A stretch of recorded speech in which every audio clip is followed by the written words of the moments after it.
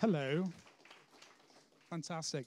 I wasn't aware that video was going to be shown. Um, so I've got another trailer to show you immediately, so I apologize for that. Um, but yeah, as Ian said, I was here at Game City last year. At that point, I'd made. Um, can we switch this over to, to my screen? Awesome. It's not important yet, but. Um, so at that point, I had a game about rectangles and squares working together to um, get to slightly higher platforms and it was going well. It was a cool little hobby project. I, I my day job is I work on social games, um, and it was going very well. And then I came to Game City, and it kind of went a little bit insane. Um, I got to see kind of heroes of mine talking about my game in interviews, and a lot of people playing the game and liking it. Um, and that kind of made me carry on and do something a bit bigger. I kind of I, I got inspired to kind of take the game a bit further. That video was done around the same time as Game City. Um, and yeah, it's come a bit of a way since then. So what I want to do um, is, and this is my progression bar um, throughout the evening, I'm going to start off by showing you a new video, which shows where the game is right now, because I wasn't aware that that video was going to be shown. I didn't want to kind of come up here and start talking vaguely about rectangles. I feel really bad about rectangles after the hexagons from earlier. That, that's immediately revealed me as the hack that I am. Um, but but I, I, kind of wanted to give you an idea of what the game is before I start telling you how it was made because that kind of seemed logical. I actually did a talk at IGDA for like 20 minutes without describing the game. I came off stage and someone just turned to me and said, "What what game did you make?" Which was which was a mistake. But this time you're going to see it twice in a row. Okay, um, so this new video. Um, I'm quite lazy and also quite busy. I, I, as I said, I have a day job. So I, uh, I had two jobs to do this week. I recorded the voiceover for the game um, with a very cool actor, and I had to do an announcement of that um, to kind of show that online, and also I had to do this. So I thought I'd do one video for both jobs. So I'm going to show that now. The um, the actor I got, it's it's really cool because I um, I wrote the script for the game with a specific voice in mind. Um, and then I spent ages kind of looking for voice actors who could do an impression of this guy. Um, and, and, they were awful. And then I was drunk. Um, and, and I emailed him. I found his email address on a fan site or something. And, and he kind of, I sent him a copy of the game. He liked it, and we recorded it this Tuesday. Um, so I don't know if, you've, if you'll have heard of him. Um, his name's uh, Danny Wallace. Um, he's uh, kind of a he, well, he's a bit of everything, really. He's written a lot of stuff. He's uh, appeared in a lot of uh, lot of shows. Um, he write, he's uh, breakfast DJ on XFM. He's uh, Shaun in Assassin's Creed, which is my favorite game. I had to work very hard not to ask him for spoilers of Assassin's Creed 3. God, Civil War. It's interesting. Um, the tree thing. That's going to be cool, I hope. Also, it's to- and I don't know this, but it's totally the reason there's no tall buildings is totally because Desmond's going to be running around. Anyway, um, Right, so this is the video that kind of reveals some of the work he's been doing. Um, this is going to be going up online later. But I'm going to step back, hopefully, because you've just seen the old trailer, you're going to see a little bit of progression. So you're going to see, you know, six months of toil um, happen before your eyes. So I'm just going to start playing. Thank you very much.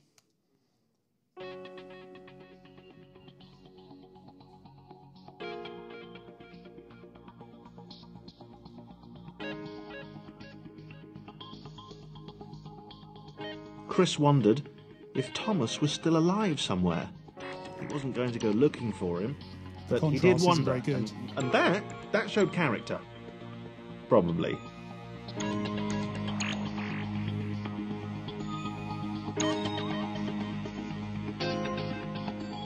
As the water began to rise, Claire vowed to save this little rectangle in as many restarts as it took.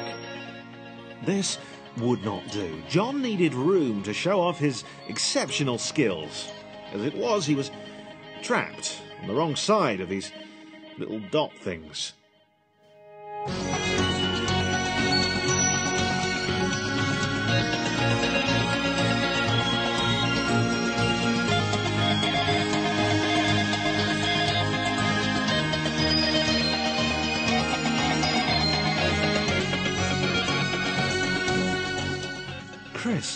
Was in love.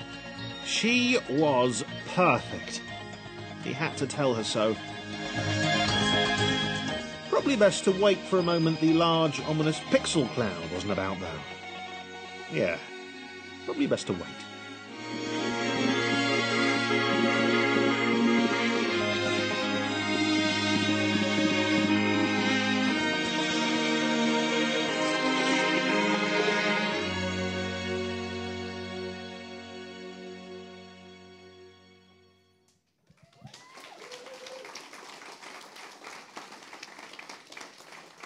Thank you. Weirdly, the, the opening, very exciting shot of Chris falling through a, a tunnel of danger was, was completely ruined by the, uh, the lack of contrast, unfortunately, but it was very cool. Um, also, if any of you are of the Twitter persuasion, um, if you'd like to tweet about it, there's the bit.ly link um, to, to that video. You were the first people to see that. Um, it's on YouTube, ready to go, though, so by all means, that's an, a capital I at the start, right there. So if you're up for it, do it. Anyway, um, and I also simultaneously tweeted while that was playing. So if my phone goes off, I apologize. Actually, I'll switch it off now because I'll probably get a few a few messages. Um, so yeah, so that it's come away. It's come away. And to be honest, I do genuinely. It's going to sound because of, of where I am. Um, it's going to sound rubbish, but I genuinely do think Game City is a big part of that. Um, this was a hobby project. This was a silly little game I was making. And because of Game City, it got a little bit of press, kind of built up a name for itself, um, and, and kind of came in a cool direction. And uh, and now it's it's looking really cool, and it's kind of got a cool cool voice actor. The music is amazing. Um, a guy called David Housden, who's a, a genius. Anyway, we'll get to that.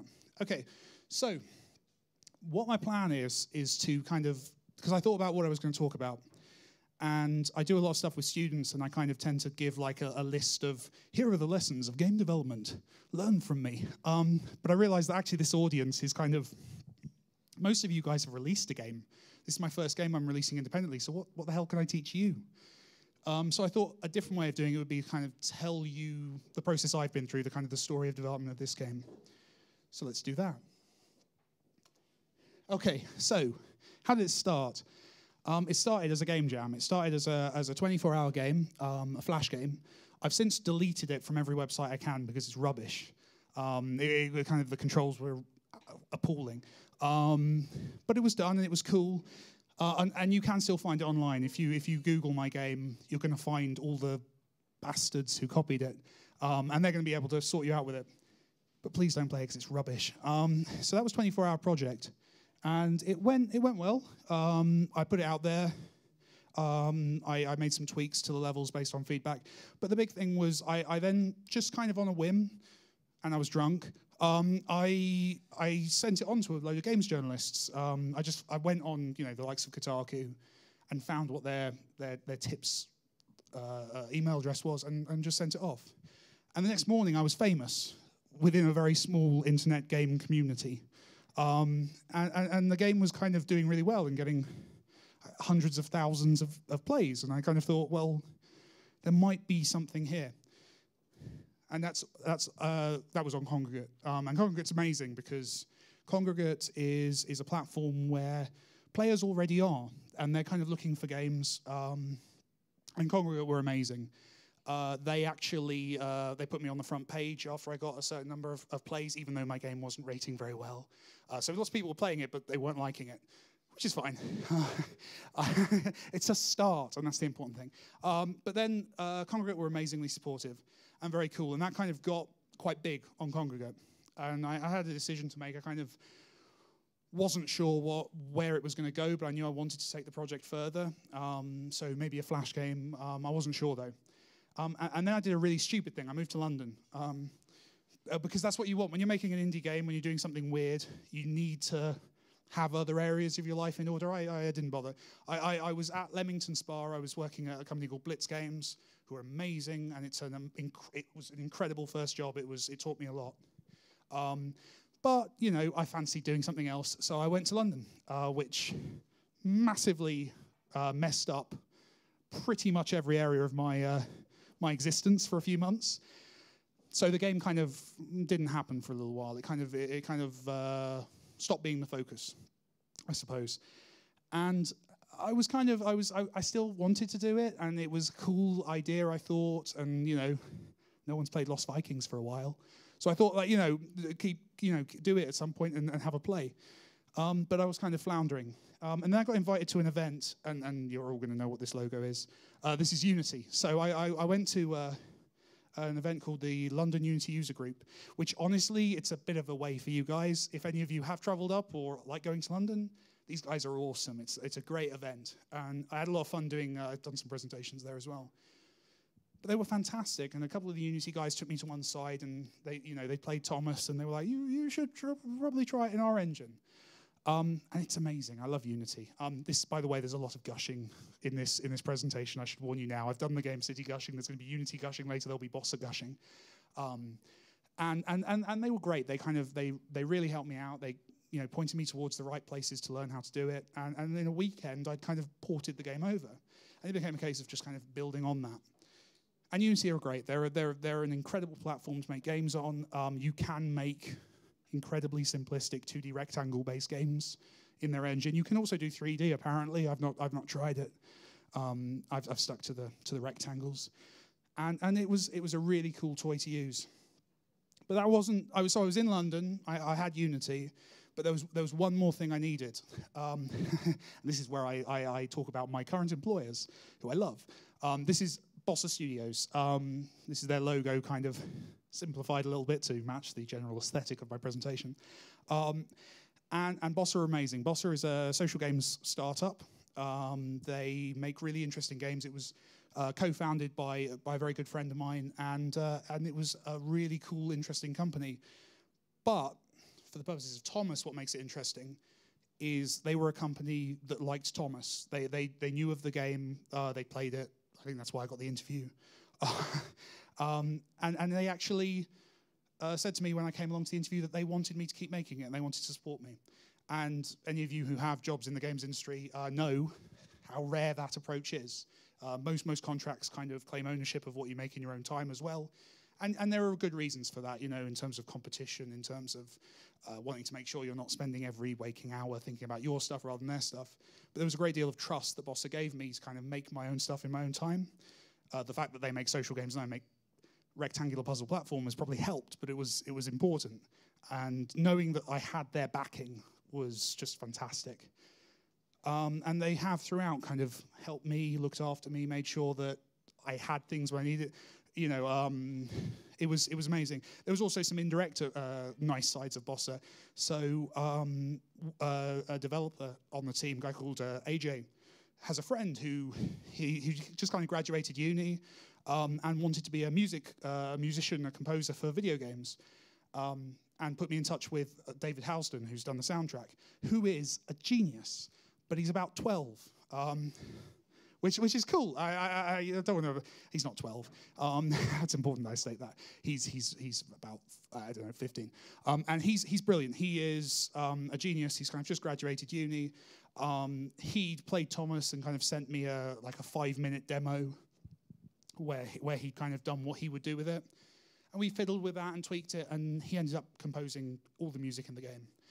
Also, what's brilliant is he's been really adaptive. Um, so the game uses kind of a procedural system to generate its music. I say I, I'm using procedural in a way that will massively piss off any coder in the room.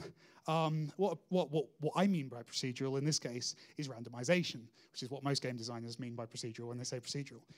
What, what we have is um, kind of a suite of loops, and I kind of randomly, based on some rule sets, can kind of interpret them.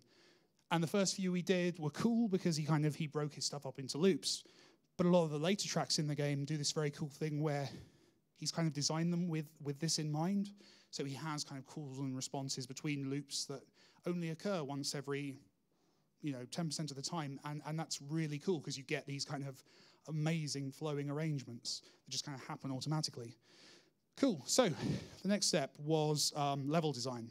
This was the one I really misjudged. I kind of I, I figured I'd build the game, and I, I, finished kind of code complete on the game maybe towards the end of last year, so kind of November-ish. And I thought this is great. I've got a game. Um, and I said something in an interview. I said like I'll make 100 levels. Um, and that's kind of, to be honest, coloured my life since that point. Um, So yeah, I tried to make 100 levels, and it's really hard to make 100 levels, especially if you want those 100 levels to introduce new interesting mechanics every single level. Um, if you want to make kind of grind, that's reasonably achievable, but if you want something new in every level, 100 levels is a hard, hard amount of levels. And actually, this mechanic isn't good enough for 100 levels. The mechanic of kind of characters with, I should say, all the characters obviously have different uh, traits. So some of them are uh, anti gravity, some of them are buoyant, uh, they have different jump heights. That's not 100 levels worth of mechanic. And I didn't realize that when I said 100. So I've got 80 levels of that. And then I do something else for the last 20 levels. I kind of, I'm not going to say what I do, but I kind of tweak that mechanic and take it in a different direction. Which I'd like to pretend is a really creative and interesting decision that I made, but actually it's just it's just it's just it's not 100 levels worth of mechanic. It's 80 levels worth of mechanic. I didn't realize that when I started, but I think that's forced me into something interesting. And this one, this is interesting because I I made these slides. Um, I was trying to think of the key points, and this originally meant script. Um, but what I realized was actually there's a lot of other things that I've had to do that aren't game. Like in terms of making the game, and I guess most indie developers are going to be nodding along, like absolutely, obviously. Um, it's it's those those side jobs. So I had to write a script, um, and as I said earlier, I, I, what I did basically was I bought everything Danny Wallace has ever recorded um, and listened to it. That was a good weekend. Um, listened to all of his stuff back to back, and then started writing and kind of trying to write in his style a little bit and kind of work out how to make a script that was kind of sarcastic but quite fun. Um, so that was cool. And then obviously went through the rigmarole trying to find the voiceover actor and eventually ending up with him, which was awesome. Um, obviously, a lot of stuff with the, with the composer, making that all work was really interesting. Um, legal stuff, having to get contracts written, having absolutely no idea how any of that stuff works. But I'm very lucky I have a lawyer now who looks after me and makes sure that I don't agree to anything I shouldn't. Um, so yeah, so I've rattled through that quite quickly. I guess the big thing I've learned from this game is be cheeky, be um, just go for it. Like I'm not naturally capable of any of these things. I couldn't code you. I should have said that. I'd never used Unity before I made this game. Um, I definitely not worked with Danny Wallace before Tuesday. Um, and and I, would not done a lot of things. I've not. I, have been. I'm a lead designer by day, so there's a lot of jobs that I I'm not naturally capable of but I'm kind of I'm a fantastic mix of stupid and arrogant. That I kind of don't realize I can't do things, and I think that's one of my biggest strengths is that I actually went out and went, fuck it, I'll give it a go. And, and as the story kind of I've said a few times, beer is also a help in that process. Um, so I've talked a lot. my plan now, actually, um, I've got a build of the game. I brought the wrong build with me. Um, it's about three months old, three weeks old. Luckily, thanks to Dropbox and the excellent internet facilities at uh, Antenna, I have, um, I have the most recent build. We've sorted that out. So the plan is I'm going to start playing, and I don't know if anyone has any questions, but I'm going to start playing and answer any questions anyone may have until Ian motions to me that uh, my time is up. Um, so I'm just going to start the game up.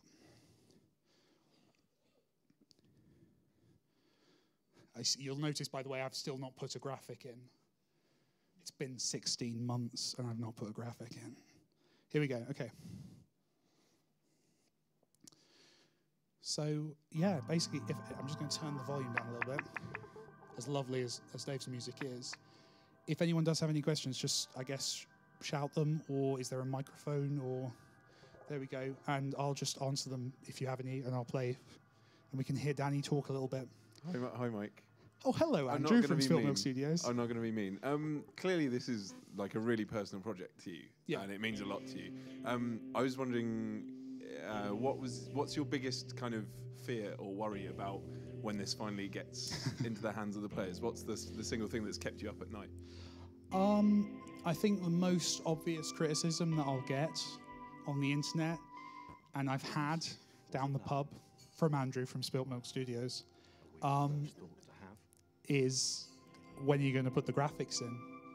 Um, and and I, it's a fair criticism. I, I hope, and I might be being very silly here, I hope the color palette choices I've made, the compositional stuff, the shape, the blah, blah, blah, blah, blah, there's no hexagons. But it's, I hope that that kind of people realize that that's a, a considered artistic choice rather than Mike doesn't know how to import meshes. Um, I should say as well, I have a modeler on this project. Uh, a guy I now work with, actually, he now works at Bossa, um, who's known in the community as Quick Fingers, who made me a 2D plane. Um, and, and you can see it throughout. Thomas decided to start. Thomas decided to start listing That's his because there's still mistakes in there, I apologize. One, the whole alone thing. Two, portals. They led somewhere. He'd yet to work out where. Three, falling. Thomas was absolutely fantastic at falling. He was almost as good at falling as he was at observing. I need to contrive a way for the player to be held back there. I still need to work that out, so you, so you have to listen to all that. Um, any other questions? Okay. Anyone else? Interesting. Thomas couldn't fall past this block. Think, damn it, think. What if there was some There's kind of question at the back. inverted fall? Hello, sorry, to hello. There's a question at the back. Um, one, where, where do you see yourself in five years' time? You've done talked about the last year. What do you see Hmm. yourself doing in five years' time? I don't know. Um, as I said, I, I, I, I kind of I've worked in I've worked in the um, the kind of the traditional console interest, industry for about three and a half years. Then then moved into social games about a year ago, um, and then obviously there's this in my own time. I'm still working it out. I, I think I think the honest answer is I'll be wherever I can make cool games. Um, at the moment, social games are a really interesting space. Uh, the reason for that is that there are no rules yet. So the thing that really turned me off about console games is that basically genres are established. You know, if you want to make an amazing first-person shooter, I'm gonna sorry, I'm gonna play this one for the crowd. The best you can do is not you know fuck up Crysis. Anyone? No. Um, I was hoping. I thought maybe. Um, but but like, there's the, and, and, likewise with any uh, genre, there's there's basically there's established rules. Whereas with social, there's a lot of rubbish. Um, and there's but there's some amazing games, um, but there's no genres yet. So it's a really interesting space for a designer to kind of work out new game forms. So I th- and rather than you know, um, and this kind of thing, you know, Viking games. Um, that's an interesting thing to do, and I think that's the thing that at the moment is making social very interesting to me. Honestly, five years, I've got no idea. is the honest answer. seemed a little dangerous. The world was not to be trusted. It was unstable, and it seemed to Thomas that it could let him down at any moment. Thomas wondered. This is the boring bit until you have the other characters, by the way. he felt like he was making progress, but there wasn't really any way to know. He seemed to be moving. Anyone else? Any other questions? Yeah, I got one. Hello. Uh, hi- you mentioned uh, Lost Vikings earlier. I which did. Was a a quality game. Uh, was that an inspiration for this multiplayer cooperational game? I should say it's not multiplayer. That's an Well, important the the several uh, The several pieces, characters. Yeah, so yeah. to speak. Um, honestly, no. I've never played it. Um, Disgraceful. I know, right? I should. I, I really should. Basic. No, no. Uh, it's it's obviously a game that a lot of people point to. Um, there's and there's a few games that do this kind of thing. There's an Aardman uh, Aardman Digital have done one um, based on the Shaun the Sheep IP, which is really interesting in a lot Screw of ways that. as well. Screw that, indeed. Um, but I think there's. I think there's. I I, I love Aardman because my girlfriend works there occasionally. Um, and it's it's it's it's I, I I've not played Lost Vikings now. Is the is the quick answer to that question. I should. I really should. Do it. I should. And in fairness as well, it's some. It's it's actually the whole kind of multi characters. I'm really hoping I get to a bit with multiple characters um, in, before my presentation runs out. Um, I think the whole thing with multiple characters is very interesting, and it's interesting a lot of development uh, guys at the moment. Uh, you're seeing. I mean, Braid had it. Um, obviously, there's PJ. Uh, P, PB Winterbottom or PJ Winterbottom, which is amazing. Um, I think a lot of people and a lot of Flash games that do very cool things as well. So I think there's a few games that are kind of playing with the cool, the interesting ideas. Thomas had a new theory. He's a bit quiet, isn't he? I'm going to have to boost his volume a little bit. Smarter. There was the mental list to consider. Over the minutes and seconds since his spontaneous generation, Um, I'll just become a mic get to pretty skilled jumper. Andrew, can you run up and play this for me while I talk? I'm finding it very distracting to do both. Are you here? Has Andrew run off to the toilet? Someone else who wants to play the game while I talk? Anyone? Wow, this isn't this is not very encouraging. Thank you. Cheers. Um, WASD to move, spaces jump. Hello, yes, sorry, you had a Uh, I was just gonna say, uh, ask if it had WASD movement as well, but evidently it does. So Say again, sorry? thanks. Uh, just about WASD as well as the arrow keys. Yeah. Because I'm left-handed and so many games don't WASD. It's there's no excuse really. I mean, it's so easy once you've bound a movement to one key, move bound binding it to two is. I don't understand why. With, with this, I can as well because it's such a simple input. So I actually do it loads of places. So movement can be WASD, it can be arrow keys and space, it can be any combination. Um, also, character switching. E is next character. So it's like E3. Um, uh, so with character switching, um, E switches you to the next character. Um, Q puts you back. Also, the number keys work too, so you can they're all assigned. So stuff like that because basically, if a playtester told me why can't I use this input, I added it to the game because there's no comp- there's no contradictions in there. If, if it was a more complex kind of interface, there'd be places where the overlaps broke things. But Highest jumper, but that's really good. Well done. this is cool because this is free playtesting for me, which is fantastic. Um, any, anyone else? jumper, Or He'd held his own. He'd even been graceful at times. oh, there's one in the corner. Well, not actually Oh, how you gonna get over there? graceful. It's probably, probably the wrong word, but you know, fine. There was that You're right. Um, runt What's it like using Unity place. compared to the other engines you've used in the past? Um, I love it. It's weird because it's the thing with and, and just to frame it, um, the engines I've used in the past, kind of Unreal, obviously. Um, Blitz has its own kind of Blitz Tech engine, which is, which is made some, by some people I very much like, so I'm not going to insult that one. Um, I think the big thing with Unity is its li- its lack of lineage. So when you use the engine, because it's only existed for five-ish years in any form, it kind of it you don't have these kind of in that's probably needs to be switched. Um, the, the, the that you don't have that kind of history. So in Unreal, there, there was always like 20 ways of doing any given thing because you had all this history built into the engine and this backwards compatibility. Whereas with Unity, there's one way of doing it. It's like a logical. It feels like an engine. Well, it feels like what it is. It feels like an engine that was made now for the way game developers work now and how game designers work specifically. So the other thing with Unity is it's very much designed. High five. It's very much designed with kind of game designers and artists in mind. Um, and I'm not a coder. I had never coded anything before this. Um, so kind of that shows it's not my prowess, it's the prowess of the engine that it kind of allowed me to make something with very simple kind of JavaScript scripting. So those that, that's there's a lot of reasons to love it. I think. Showing up to him. Great, great. Another chance for Thomas to jump slightly higher than Chris. Hi, Hello. over here. Oh hello. Hiya. Made the whole Um, what influenced you to use the art style that you have in the game?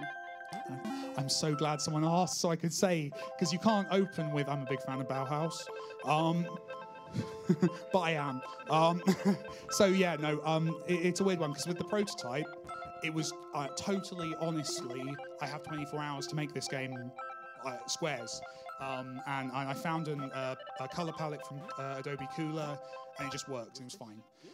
When I sat down to kind of expand it, the first thing I thought was, right, I need graphics. Um, so I kind of thought through loads of things, and because I'm a nerd, immediately, obviously, robots, astronauts, those kind of things we're kind of playing with.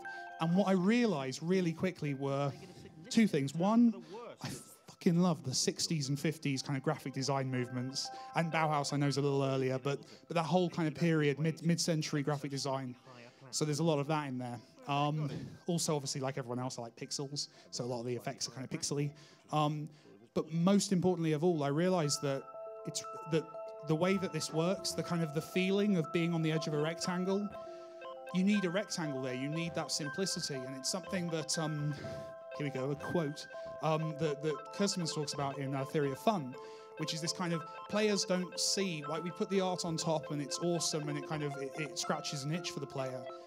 But players, when you're playing Gears of War, you're, you're, you don't see the world as it literally is shown on the screen. You see it as an arrangement of collision volumes that you know where things are. And I kind of wanted to play with that. It's, this is such a auteur way of putting this. I wanted to play with those rules. I wanted to play with like how the player do do something very very simplistic and, and see how players went for it. And then obviously there's a lot of very nice, hopefully aesthetic stuff laid on top of it. But yeah, that, that's where that came from. It's kind of a combination of kind of mid-century graphic design and an obsession with kind of collision volumes. I love that stage when you're working on a game where you have the kind of the placeholder collision mode in the game before the artists get to play with it. It's great. and I of wanted to make a game that looked like that. You know, amateurish. Anyone else have a question?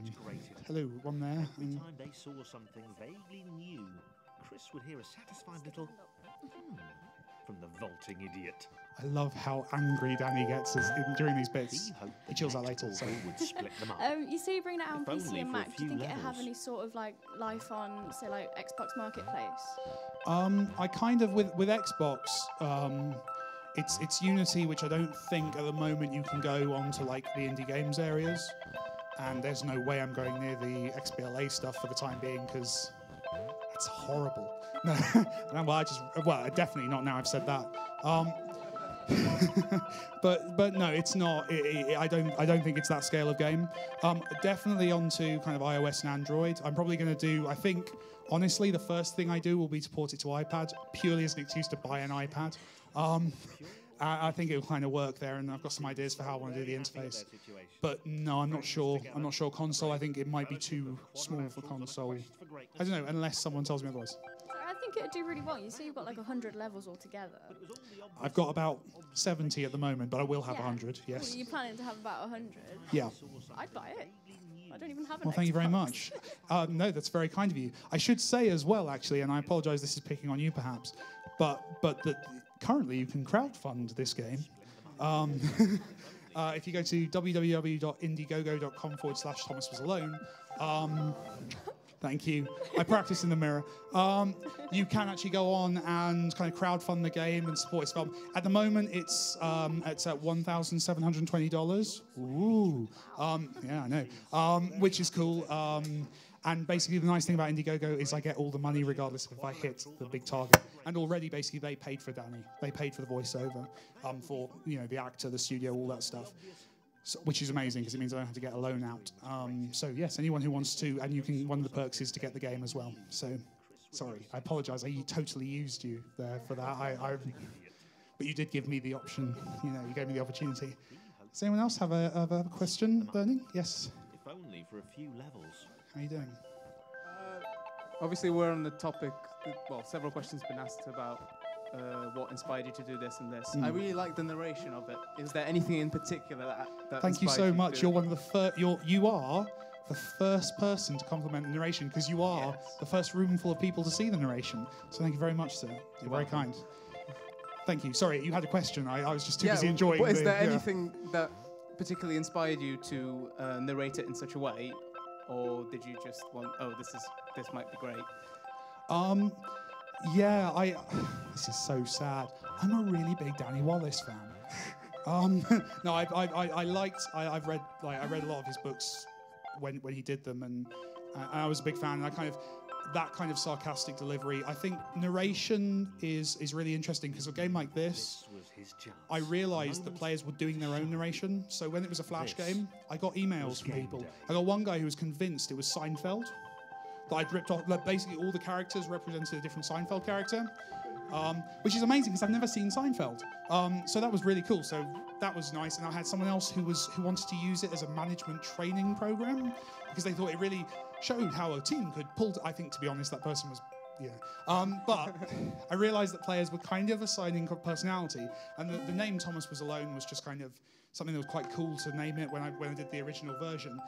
But people were calling the red one Thomas because they played it first, and I realised that actually I could probably do something with that. And and the way the story goes, it kind of the wrong side of these. you start off with these kind of characters getting introduced, which is cool. But then I totally, hopefully, push my luck essentially by then doing a big sci-fi story on top of it um, as it goes on, which you probably, I mean, he's doing very well, but we probably won't get to tonight. But yes, so basically that's yes. Narration was a lot of different things, but it just felt right. The open space, and it smelled. Thanks for that. Sorry, I rambled a little. No, no. I've actually I recorded a bunch of uh, uh, uh, Danny's a really John good um, ad libber as well. air of the So we recorded space, a bunch of insults that he throws at the player if you do really badly. awesome. They're not in yet, unfortunately. But Time to flex those. Another question? To put his training Anyone to else? use. Time to show those I little dots how it was exhausted done. the room. Okay. Um, in which case, John thank you very much for your time. To press the switch Um, to and let the little you've got to come off now, I'm afraid. John What are you up to? his new. Oh, you're going to have to get another character. Yeah. Thank you very much. Cheers, guys. It's Thanks Mike lot. Bithell. Mike, thank you so much. Are you going to set it up so people can play it? Yep, can play it maybe absolutely, at this yeah. screen. Is that all right?